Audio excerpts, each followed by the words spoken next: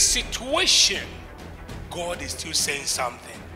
Remember, as a Christian, listen, as a Christian, if you have headache, stomach pain, you had an accident, you had an injury, and another person that is not a Christian have accident, have headache, have stomach pain, have injury, your case is not like his case.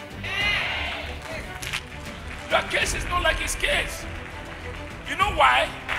Because you have been appointed by the Father to excel, to succeed in every situation.